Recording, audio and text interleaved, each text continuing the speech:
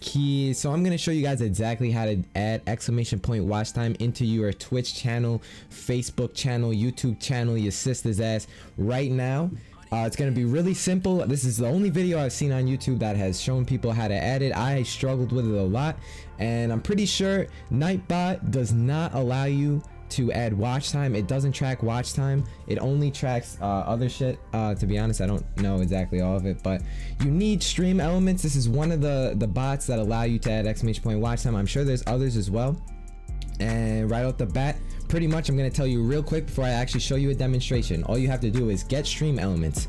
You sign in. You authorize the bot onto your channel, get it as like a mod or whatever and you come here to loyalty settings you turn it on you click save boom exclamation point watch time. It only works when you're live. So i'm to show you guys the demonstration of setting it up right now. Oh, okay so currently right now exclamation point watch time does not work okay? This is my friend's account simeon013 epic. Go hit him with a follow he doesn't stream. So the first thing you want to do is go to stream elements. Fucking stream elements. Uh let me sign out of this bitch. Okay connect with twitch. I mean I, you could do youtube or the other other stuff. I i honestly don't know how to do like if it's the same or not. So this is just for twitch and what you want to do is sign in click uh, authorize and bada boom ba. Okay here we are. Now you have to the first step is activate the chat bot. So click activate okay? Bot successfully joined your channel. Let's see. Stream elements bot running. All right so let's see if we do exclamation point watch time if anything works. Okay so it comes up as zero seconds watching blah blah blah and whatever uh, this account has never streamed before, so that might I might not be able to actually show you, but I know how to do it because I have my own Twitch channel, Ken Beans. Go hit me with a follow. So now you can add tips or whatever you want. I'm pretty sure you have to go to loyalty settings turn this on. Now that this is on, it should work. Literally click save. Yeah, let me do it. Thank you. So update your loyalty settings. Perfect. Okay, now you go back here. I'm pretty sure. Exclamation point watch time is still gonna bring up nothing. But um, yeah. Now I'm pretty sure. I I literally think we're done. This is the video.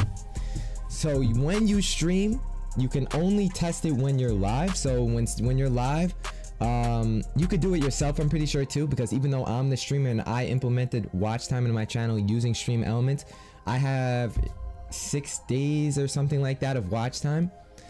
And because since it's like your channel and you know, you can have your own watch time. So, I mean, literally that's, that's all you need to do.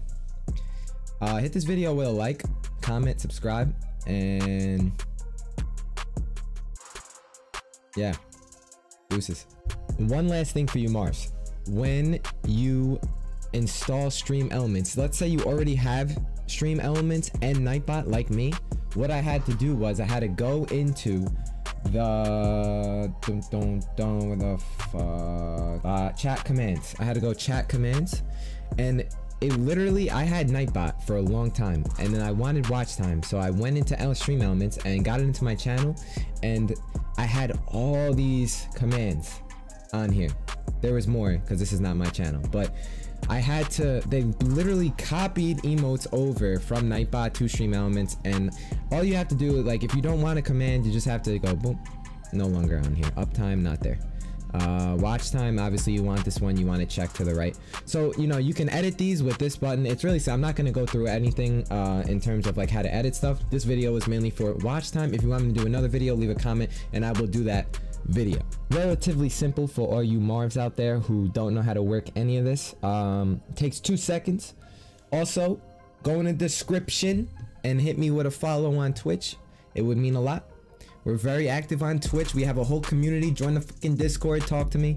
And if you have any questions, I will answer them in the comments section. I answer everyone. I heart almost every comment unless you're toxic. Then I fucking time you out. But um, get worked and I'll see you later.